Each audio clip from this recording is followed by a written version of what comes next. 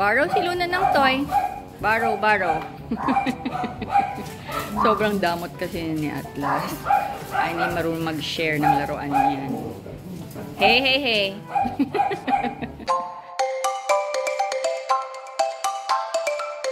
Hey guys, once again, welcome back for today. You are in for a treat because today I'm gonna show to you a list of our activities. Ayan, activities ni Luna and ni Atlas from morning until evening para lang at least you guys know what to expect, 'di ba? If you guys are planning to buy a husky kasi it takes a lot of time and effort talaga, oras nyo kakainin. Um, so, yun, From potty breaks, eating time, playtime, pagtakbo namin sa labas, pagligo, pagkain, lahat I'm gonna show to you para lang din. At least you guys are aware. So without further ado, let's start!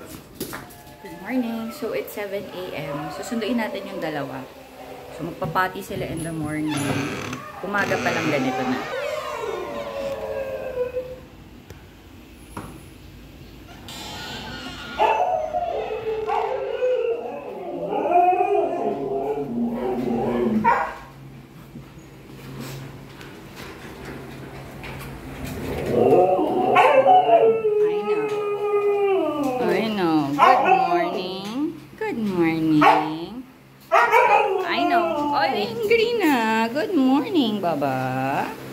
Good morning, Babs. Good morning.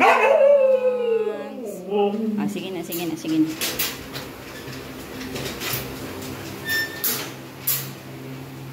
Nauna muna si Atlas. Sige na, you go pee-pee there. Pee-pee. Good boy, Bobby. So, pag nakabibi na siya. Ayoko kasi sila medyo pinagsasabay. Nauna ng saglit si ano, Atlas. Okay. Up. Oh, you have to wait for Mama. What are you doing? You have to wait. Mama will tell you when it's time to leave, huh? Okay.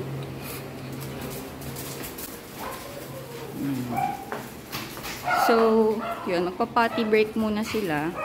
Kasi nga first wiwi and pupo nila to in the morning. Basta pag nakapupo na sila, tsaka lang kami lalabas. So, medyo madilim pa, makulimlim. Maaga pa kasi mga around 7. So, magwiwi na sila. Magwiwi na si Luna doon. Pupup na, pupup. Sige na, you go pupup so mama can take you out.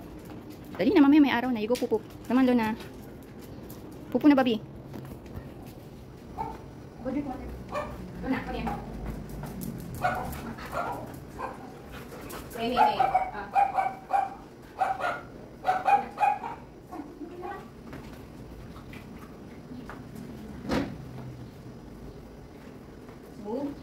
Go walk.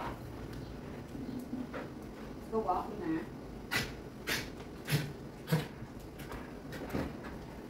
Luna. Luna.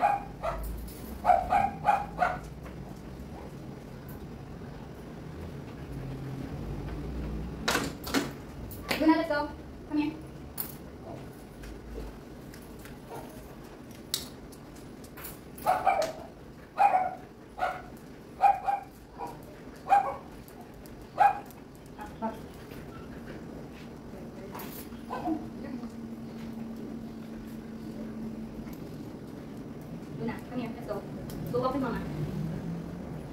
Jones.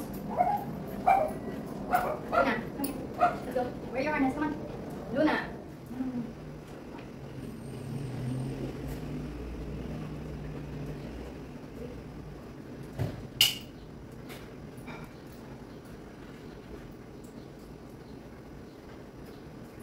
Here, here.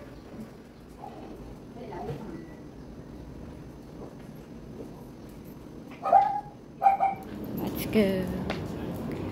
So, yan.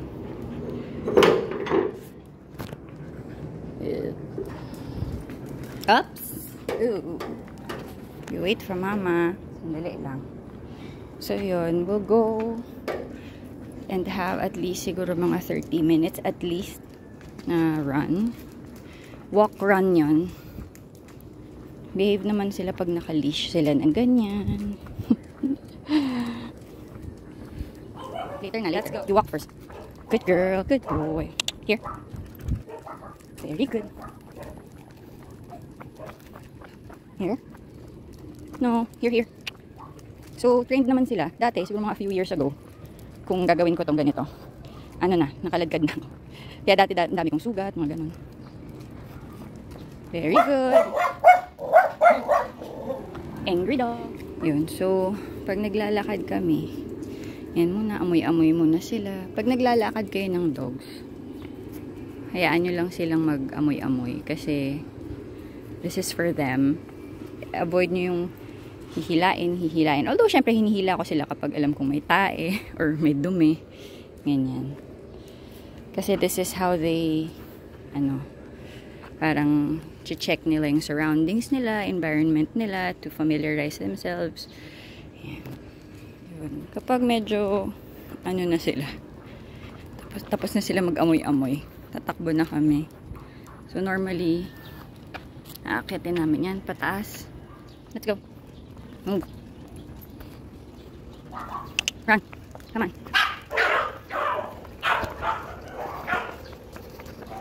Run. Come on.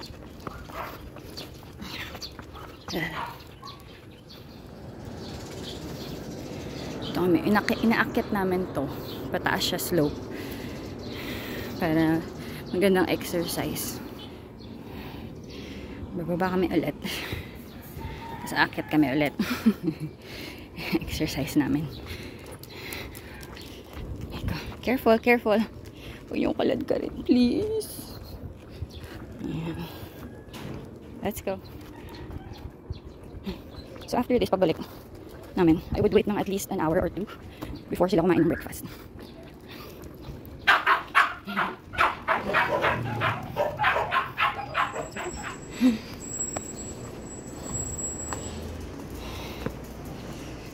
So pag nandito na, i-office ko pa sila para okay, mas masaya. Go drink your water. Go drink your water. Atlas, water.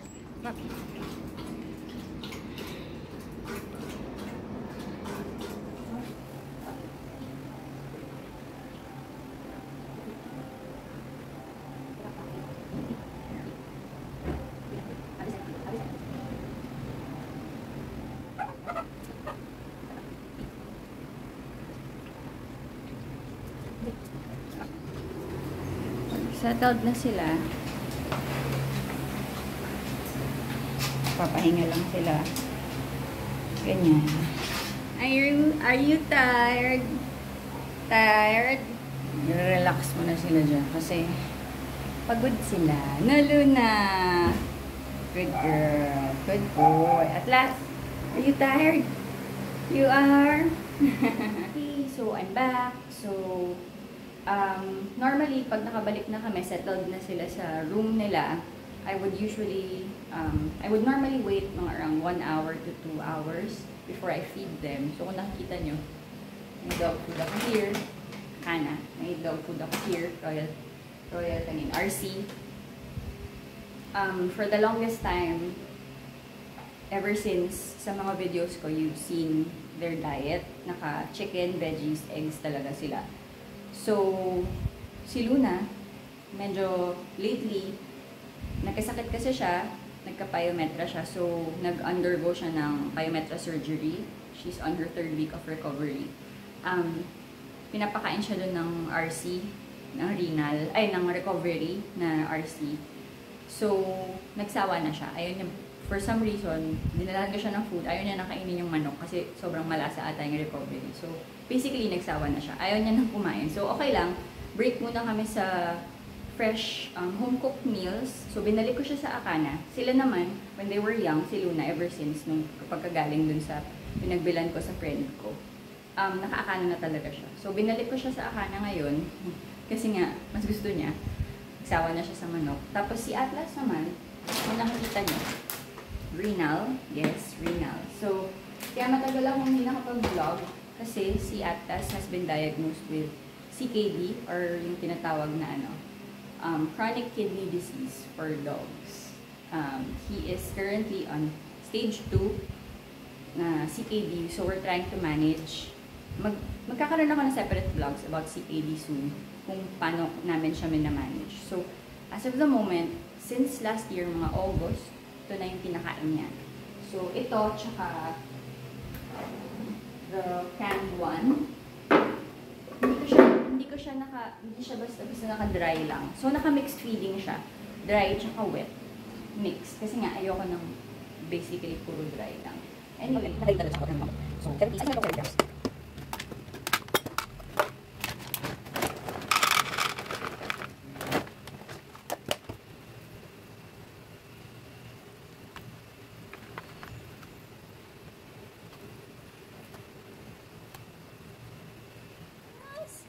So, for those of you who don't know, meron akong cat.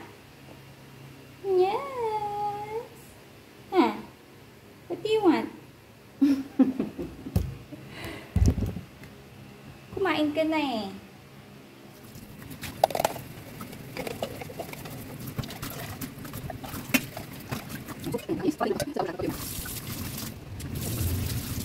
So, ano itsura ng food pag pinaprepare ko, ito yung renal kidney diet ni Atlas na mixed feeding. Kanya tong medyo mas malaki. Ito yung kay Luna. So,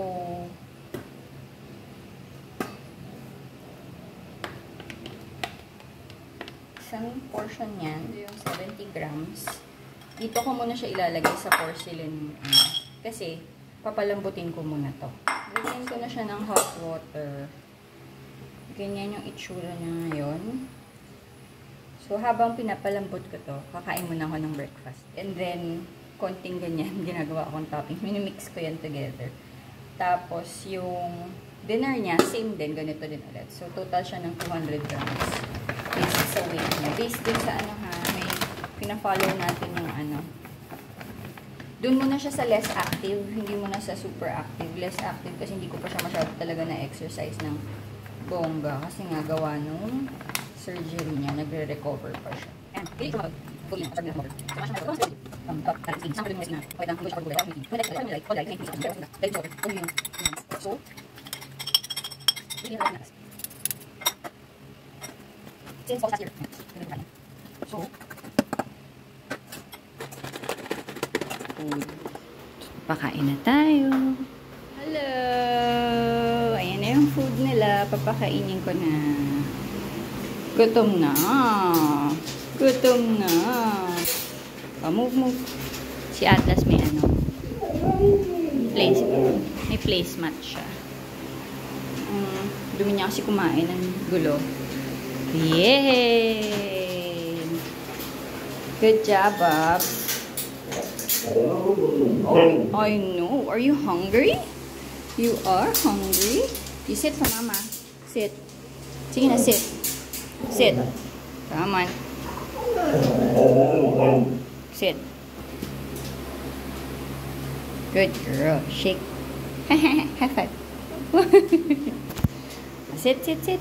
Mama's gonna give you your food. Move, move. Okay, move, move, move. Good girl. Kay, ito kay Atlas. Ito kay Luna.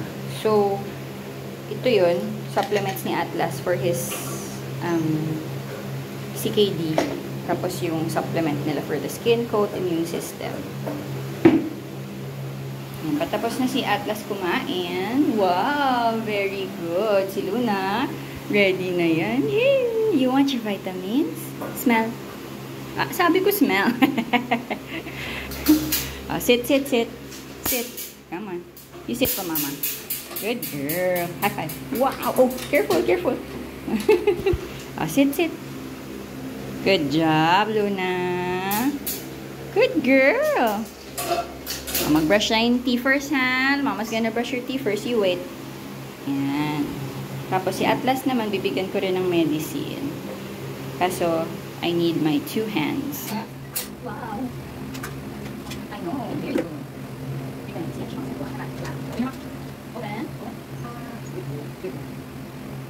Rồi, dĩa. Oh, very good buddy. Good job. I don't work. Không nghe đâu có gì. Good boy.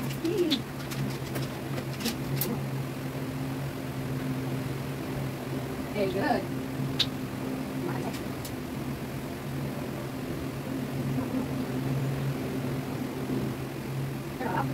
Thank you.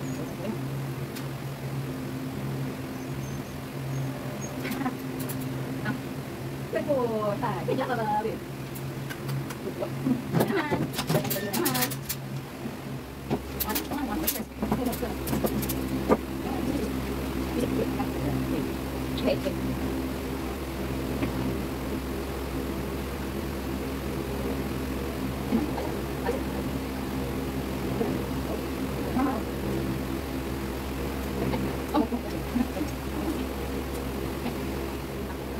Good girl. Very good. Good job.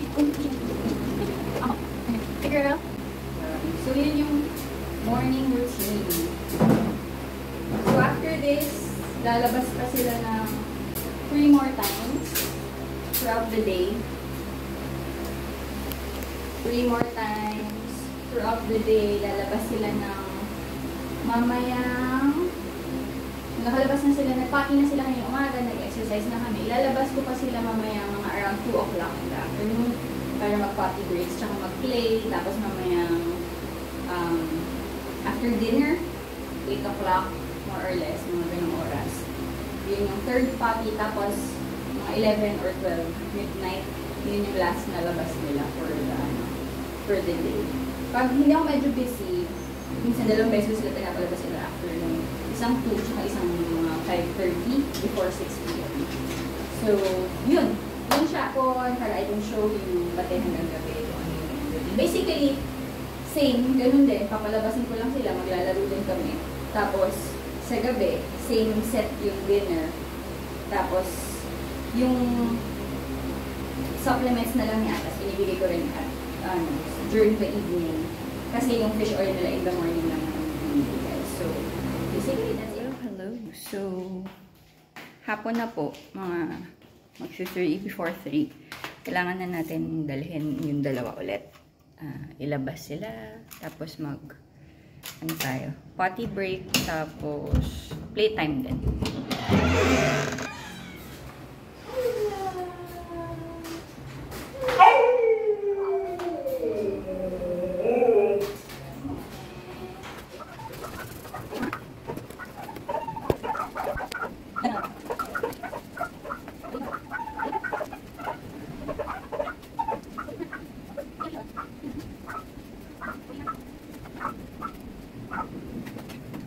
谢谢，好给你。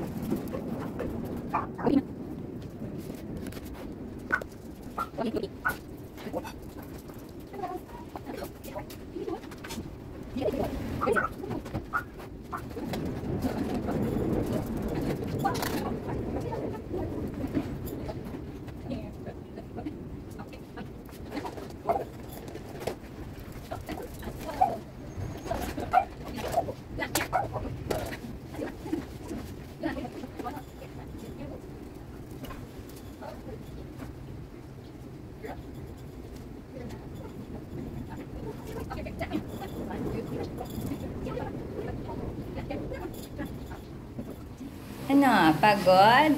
Are you tired? Ah, lawit dila. Very good. Ikaw, pagod ka ba ba? Eh? Dinner time na. Nagiingay na sila kasi. kasi gutom na. Alam na nilang kakain sila tsaka lalabas sila during this time.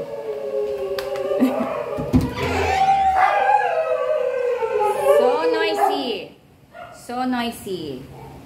Ay, nako. Dinner time na. Gabi na. Ayan. Around, ano na, before um, 8. So, after they eat,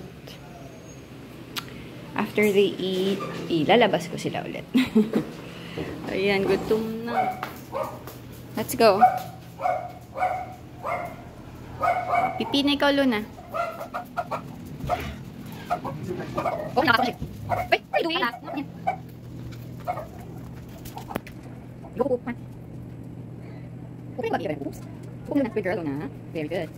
Ako na, ako. Go. Adas. Adas. Lucy na, na. Okay, here. Good girl naman. Very good. Good job. Very good naman. Wow. Kita mo yan. May kagat-kagat na si Atlas. Gusto pa rin niya nito. Up! Hey. Huwag mo kong dadambahan. Oh, mama's gonna throw.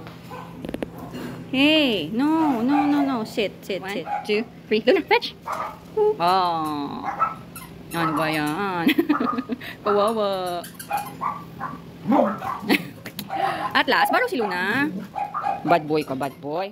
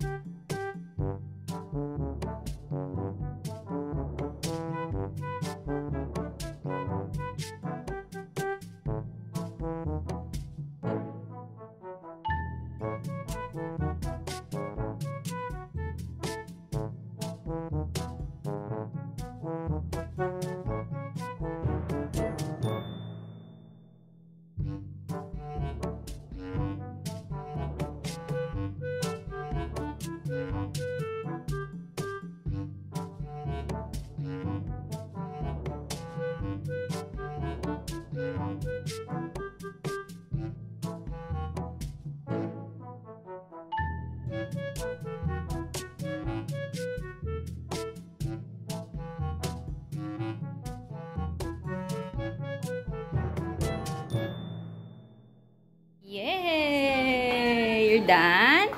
Good job, Luna!